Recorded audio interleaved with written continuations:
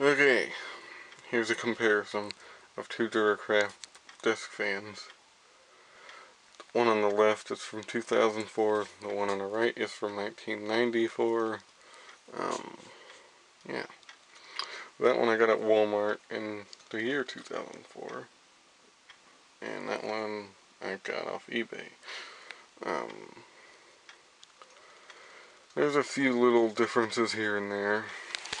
First off, this one has the older Duracraft logo, which this one is a newer one. The writing on here is about the same. I think it's a little different maybe. I don't know. The back grill design's a little different on both of them. This one is missing lines from here to there, there, there, and there.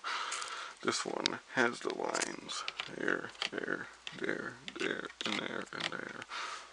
Um, and this was back when Duracraft was its own company still.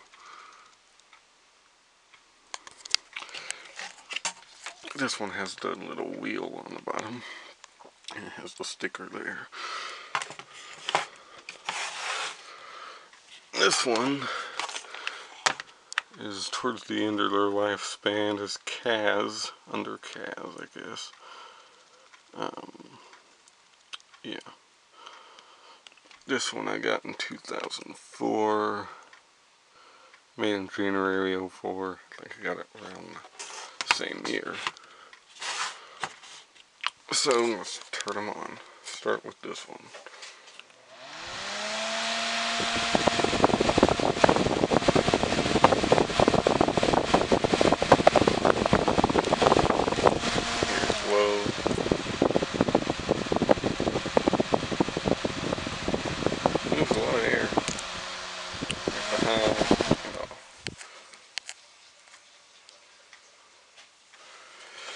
Now this one, here's high. A lot quieter.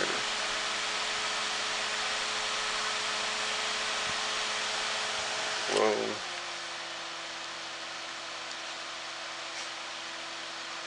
Pushes out the same amount of air at the high and off. That one has a lot longer of a coast down. So turn them both on high.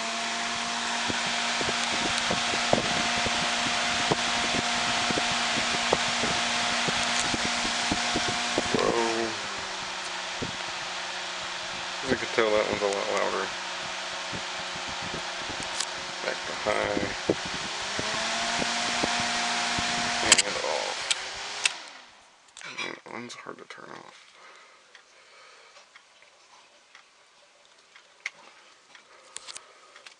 So there you go.